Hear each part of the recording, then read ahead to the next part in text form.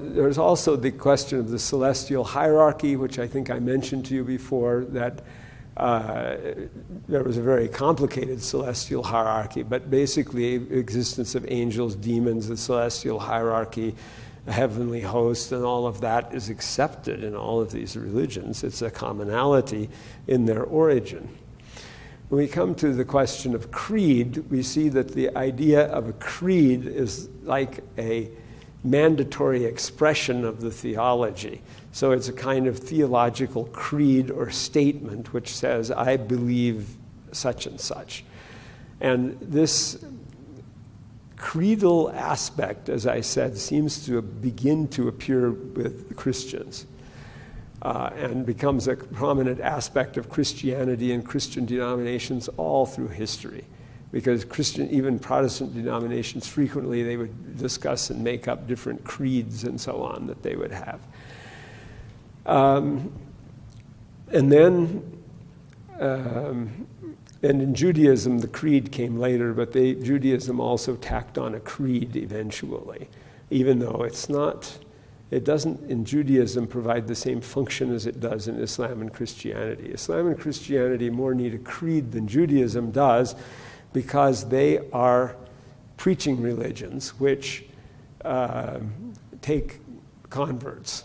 They take people in as followers. Judaism, on the other hand, has an indisputable ethnic element in it, which is that the person is born a Jew, and once born a Jew, always a Jew, no matter how many times or how much they apostatize to other religions or whatever, their Jewishness is never altered by that.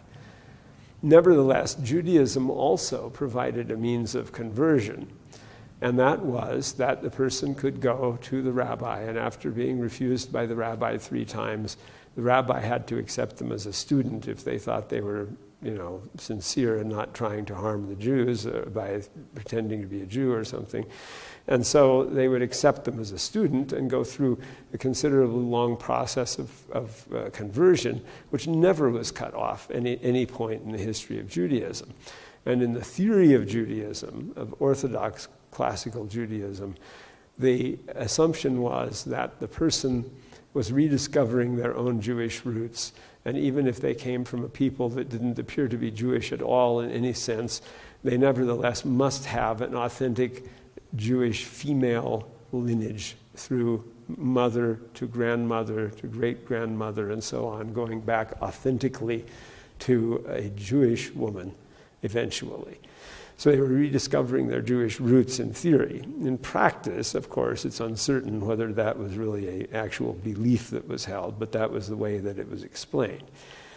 So even there, Judaism bears some commonality with the other two religions, although not uh, complete commonality.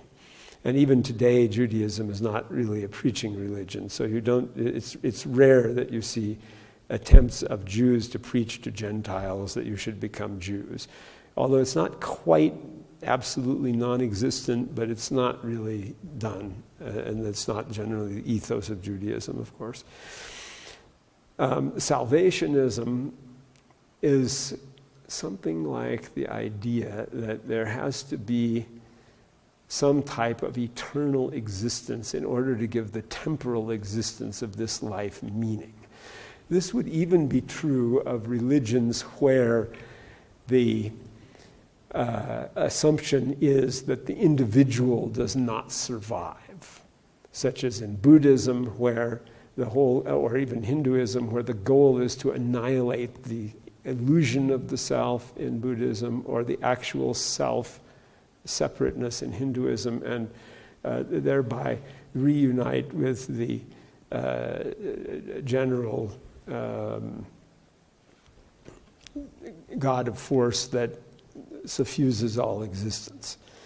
Or in Buddhism, where you don't actually have deity anyway, you, you get rid of the, of the self. Nevertheless, there's some kind of idea of timeless eternity of something. Even in uh, the most nihilistic seeming type of Buddhism, that of the Madhyamika school taught by Nagarjuna in India in the first millennium CE, um, you still have this concept of shunyata or emptiness, which is associated with the ultimate. And that is something about which nothing can be predicated. That is, you cannot say that it exists and you cannot say that it does not exist. And that is not very far afield from a lot of the theology of the great religions, where they would say uh, you can only have the negative or apophatic theology where you say what God is not, but you cannot say what God is. That's quite common. And the negative or apophatic theology is also shared by the three religions about God, going back to the point of theology. So, this kind of eternity, anyway, that you have is associated with salvationism in the sense of eternal salvation of the individual separate soul in uh, Islam and Christianity. In Judaism, this teaching is not emphasized so much, but it's also not absent because it says in the Talmud, all Israel has a share in the world to come, except for three kinds of individuals and seven named individuals. This is a part of the Talmud that I studied most carefully in Tractate Sanhedrin. And um, so you even have, nevertheless, the same idea of a kind of salvationism there. It's just not stressed as much. Rather, the salvation of the whole Jewish people collectively is stressed as uh, perhaps would be found in other uh, ethnic and tribal type religions that ha- exist, where you have more of an emphasis on the collective rather than the individual.